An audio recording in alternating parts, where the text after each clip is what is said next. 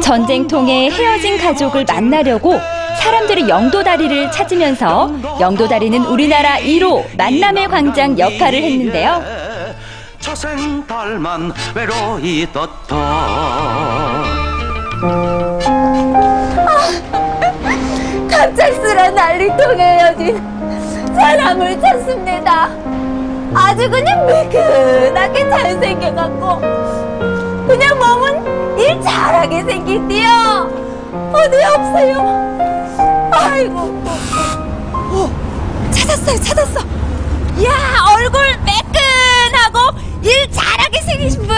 예, 아니 여기서 딱 보니까요. 예. 이 포스가 이 영도 대교 위에서 뭔가 중요한 일을 담당하고 계실 것 같아요. 예.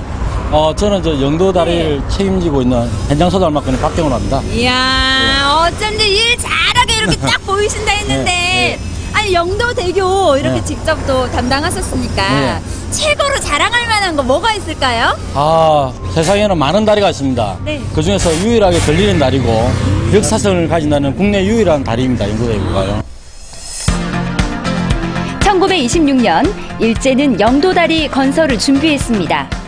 돛이나 굴뚝이 높은 배가 다리에 걸리지 않고 지나갈 수 있도록 상판을 들어주는 도개교로 만들었는데요.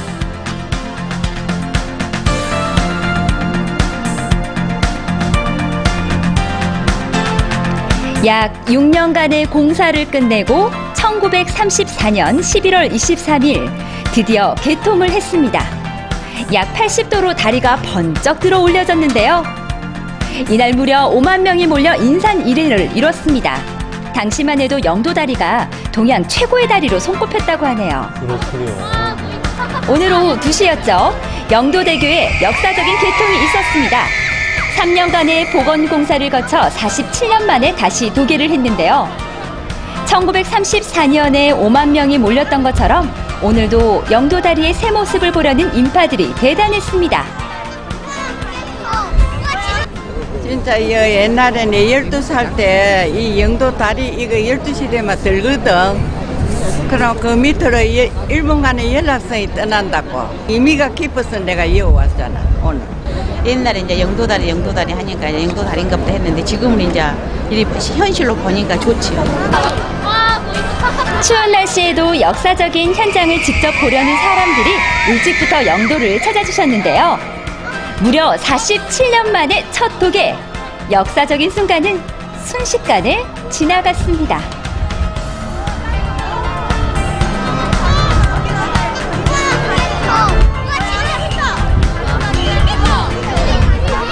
도계되었던 상판이 내려오고 부산 중구와 영도구 양측에서 각각 최고령자 2명이 그리고 어린이 30명이 영도다리 중간에서 만났습니다. 추운 날씨에도 불구하고 전국에서 많은 분들이 오셔서 자리를 지켜주셨는데요.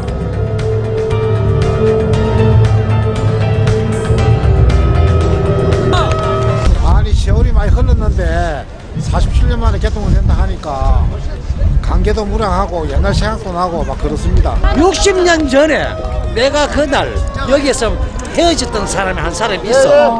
그 사람 한번 만날. 길이길이 기억될 이 역사적인 첫 개통의 순간 많은 시민이 함께하고 싶으셨겠죠.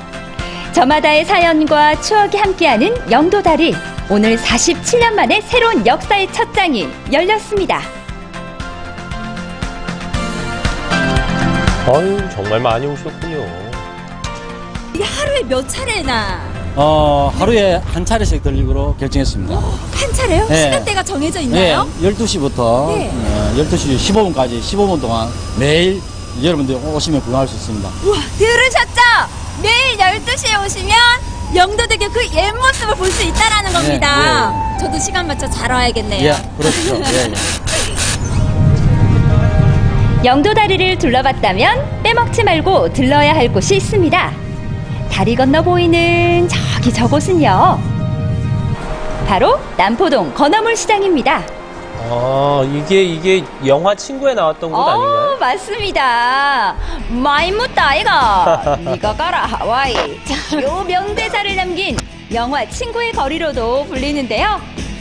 자, 남포동 건어물 시장. 오늘은 제가 접수하는